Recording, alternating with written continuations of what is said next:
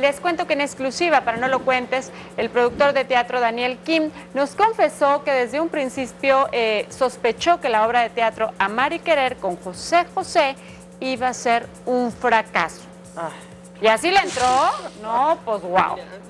Daniel Kim, uno de los productores de la obra Amar y Querer, revela que el propio José José no estaba de acuerdo con el proyecto ya que lo consideraba fuera de lugar. Yo creo que el maestro príncipe José José tiene el deseo de apoyar en, su carrera a sus hijos. Yo creo que él no veía bien que, las canciones se interpretaran así, con, gente que le faltaba experiencia para interpretar y con cantantes de otro nivel. Ahí está la, cosa que cuando le preguntaron que si Ninel Conde estaba en el musical, él ni la conocía. Y él reconoce y sabe el nivel que debían haber tenido los cantantes que estaban en el musical.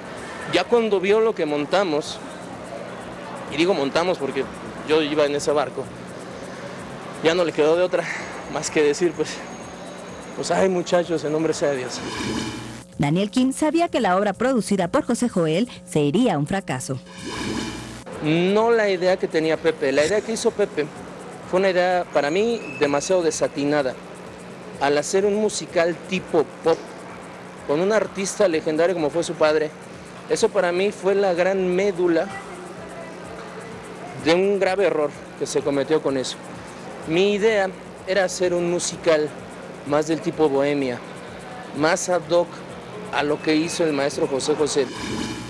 Las adaptaciones de las canciones de José José en la obra Mari Querer no era lo que el público quería ver en el escenario. La gente, el día del estreno, había mucha gente grande, había mucha gente muy eh, pues, adulta, que es el público de don José José, muchas cabecitas blancas yo veía ahí.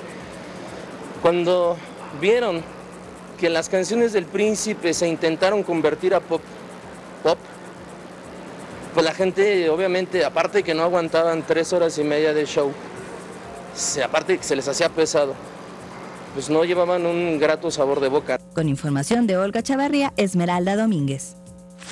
Suscríbete a nuestro canal de YouTube y entérate antes que nadie de lo que hacen tus artistas favoritos. Empieza ahora mismo dándole clic a estos videos.